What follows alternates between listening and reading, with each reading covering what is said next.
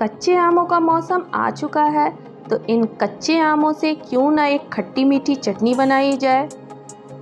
ये खट्टी मीठी चटनी आप जो है, फ्रिज में लगभग सात से दस दिन तक स्टोर करके आसानी से रख सकते हैं। अगर अच्छा लगे तो ज़रूर बनाना और कैसा बना है, ये ज़रूर बताना।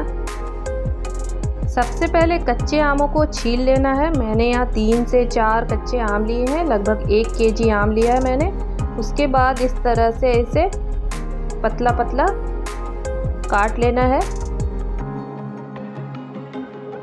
अब लगभग वन टीस्पून ऑयल लेना है। इसमें थोड़ा से मेथी के दाने और थोड़ा सा कलौंजी ऐड करना है। इसको लगभग एक मिनट तक भूनने के बाद आम एक छोटा चम्मच नमक और लगभग 250 से 300 ग्राम हम इसमें गुड़ ऐड करेंगे।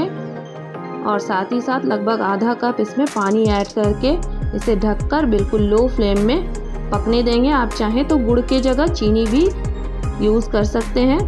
अब मुरब्बा को इस तरह से छोटा छोटा काट लेना है। अगर आपके पास मुरब्बा ना हो तो आप किसमिस यूज़ कर सकते हैं। अब देखिए, गुड़ अच्छी तरह से मेल्ट हो चुका है। अब हम इसमें मुरब्बा और थोड़ा सा कटा हुआ काजू ऐड कर देंगे।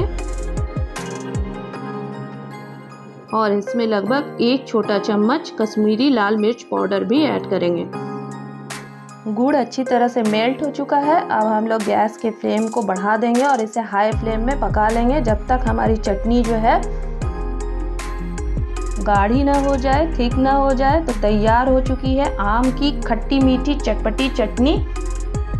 सबसे अच्छी बात है कि हम इसे बना के लगभग सात से दस दिन तक फ्रिज में स्टोर करके रख सकते हैं। अगर आप लोगों को मेरी ये रेसिपी पसंद आए तो प्लीज़ मेरे चैनल को लाइक, शेयर और सब्सक्राइब करना ना भूलें।